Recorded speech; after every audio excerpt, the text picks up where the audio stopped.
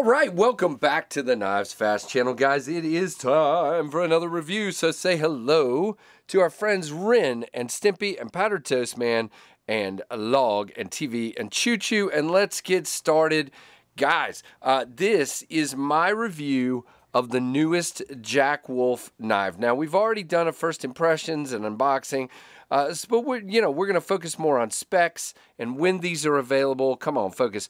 Uh, and also um, comparisons. So this is the Javelina Jack in uh, Camo Carbon Brittany Blue. And guys, these are going to be available at dealers Friday the 17th of uh, February 2023. So that is coming up. I think I'm posting this, oh, I don't know, Thursday or something. Uh, and so the next day. But anyway, the point is they're dropping on February the 17th at 2 p.m. So this is awesome. Uh, so let me just say, uh, Ben continues to Ben Belkin from Jack Wolf Knife continues to step it up every time. I keep thinking to myself, he's he's reached the pinnacle. But man, this is right in my top five. You guys will see a video very soon of my top ten top 11 Jack Wolf knives. Uh, and this is right in the top five. I'm just going to say that. And the reason is these contoured scales, as you can see there, uh, the shape, this beautiful sow belly. Now, this is a sow belly pattern. You do have a single fluted bolster here. And by the way, as usual, you have gray titanium frame with a stainless steel silver um, back spring, and your covers in this case are uh, camo carbon or carbon fiber. This is fat carbon, as they call it, with the Brittany blue color mixed in. Uh, but this is camo carbon brand, is what I'm trying to say. But that's the covers, and they're cut in there, and they're matched to each knife, as you can see. Same thing goes when we open this guy up. We'll talk more about walk and talk and stuff. Uh, this is milled to match the blade to the back spring and to the knife itself. Fantastic. These are made in China, of course, uh, but they are so well done. Just look how beautiful the shape is. When this is, uh, you know, in the pocket, it's just beautiful. Now, uh, let's see how it fits in the provided slip. Now this one is a little thinner and, and uh, longer and it has that sort of banana shape. So you can see it starts over here, comes out over there. But what I like about these slips, I, I've had some made, but what I like about these is it covers the whole knife because I put other stuff in my pockets and that protects the knife. I don't want to get these bolsters unnecessarily scratched up. Now if I scratch them up while using them, but while using the knife, okay, that's all right. Um, but I don't want to just unnecessarily scratch it up for no reason, just me being careless, throwing something else metal like a, a Leatherman, which is usually wrapped up in a, in a hank, but it comes out during the day. So if this is just floating around in my pocket, sticking out that much of it, it's going to get scratched up by that Leatherman Micro when it falls out of the, the hank that it's wrapped in. But that's just me. Silver hardware, all countersunk. Uh, very, very, very nicely done. Now, let's talk about, you do have a nail nick, this sleek shape with this beautiful swedge up here. But in my case, I just pinch it right at that and it's perfect. Uh, I just don't like to shred my thumbnail. Uh, these are strong. I know some of you have maybe stronger thumbnails or something. I don't know. But I just pinch them. Uh, now, this is an S90V clip point blade. Look at that beautiful, beautiful grind, guys. I love the satin finish. It's just so beautiful. The grind lines are gorgeous. Now, it does have Jack Wolf there on the tang and S90V on the tang. And again, everything matches up so well. Now, um, there is, you know, uh, as usual, there is, um, you know, a corner here, but it's smoothed off and chamfered well enough where in your hand it feels super fantastic and good. I like that Focus is actually agreeing with me today. This is good. Um, watch, it'll go crazy now.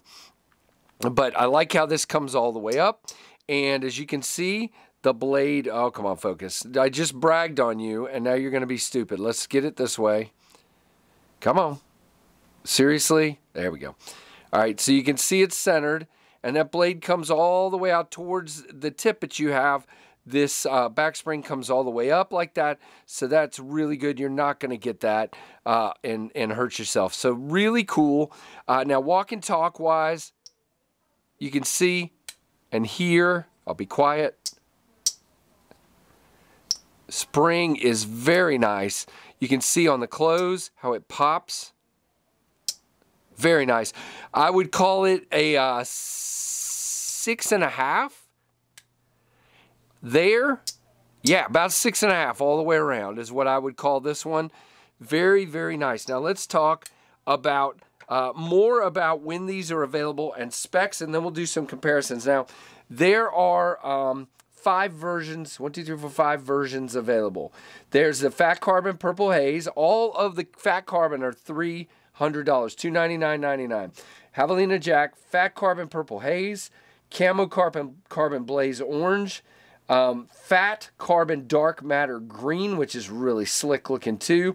The Camo Carbon Brittany Blue. So those are the four there, and then the Natural Micarta for two seventy five 99 so two you know 274.99 so 275 and these are all available again on the 17th at 2 p.m. Eastern at dealers his dealer list will be down in the description I will give you the link to Jack Wolf's website to see about these knives and then I will also give you the link uh, to his dealer list down in the description uh, and by the way, thanks to Ben for sending this one out and all the Jack Wolf knives I've seen. He sends them for a review copy, and I really appreciate getting to show these to you guys uh, and have them in my collection. It's it's that simple, but it it literally this it doesn't matter as I do with everything. This is an honest review. It is not uh, you know any other way. That's just how I am. I would not do the video if I felt differently. Um, but I don't. Um, close length is 3.78 inches. Blade length is 2.83. Uh, Crucible S90V steel, 2.3 ounces. Blade stock is 0.12 or 3 millimeters. The cutting edge is 2.6. Um, so really, really cool. Let's show some. Uh, by the way, I didn't talk about ergos. Um, so this one here is probably in the top two or three ergonomically of the Jack Wolf knives. Uh, it is, I love the, the drop handle. It gives you that forward grip when, when you're um, using the knife. And by the way, as usual, very thin hollow grind blade. Uh, very, very nicely done. I just love the ergos of this one, though. It just feels so good in the hand. Let's pull some of this off. Uh, so let's go with the very first clip point, uh, the very first knife, I think, if I remember correctly, that Ben did out of the door uh, out out of the gate, whatever I'm trying to say, which is uh, the sharpshooter jack. Different style of clip point blade, as you can see there.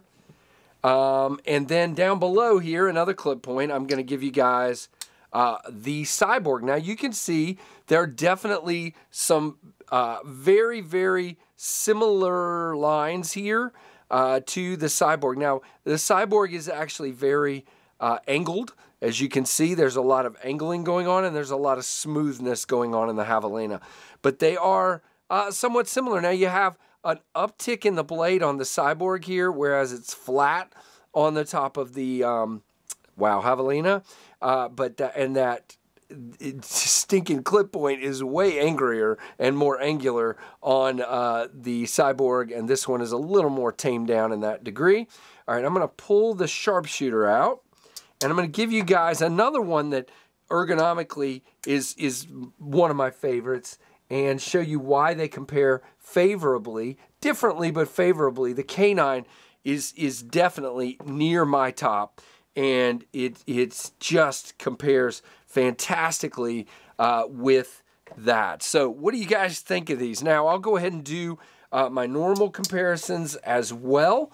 Uh, for those of you that maybe aren't as familiar or don't have a Jack Wolf knife, maybe you're familiar with the Ontario Rat 1 uh, and the size of that, or the Ontario Rat 2 and the size of that. So that kind of gives you a good gauge of the size uh, of the Javelina Jack. So again, very, very cool knife. Uh, I am enjoying this one very, very much. It is just a great, great knife. So what do you guys think of this one? Is this a model that interests you? Uh, ben has been just killing it with his models. By the way, I didn't really talk about the artwork. We did that in the unboxing, but you've got Jack Wolf there and our Javelina friend there, which is a type of southwestern uh, United States pig, Javelina Jack. Sean uh, Tiffany just kills it with the artwork. You also obviously have a cloth in here, the pog. Um, where's the? I think it's down to the bottom. And the sticker. So just really, really cool job with the artwork. It's just a whole package because you get the slip, uh, you get all that stuff, uh, the collectible uh, cans and everything else is just so cool. So there you go, guys. Let's see if I can get this where there's less glare on it. Maybe if I move my light a little bit. There we go, right there. So that you can still see the, uh, the hollow grind and not get blinded by the shiny blade. But very, very cool, guys. I like this one a lot. Let me know what you think down in the uh, comments. Give me a thumbs up. And again, be checking for these on the 17th at 2 p.m. at your favorite dealer. So thank you guys very much for watching the Knives Fast channel.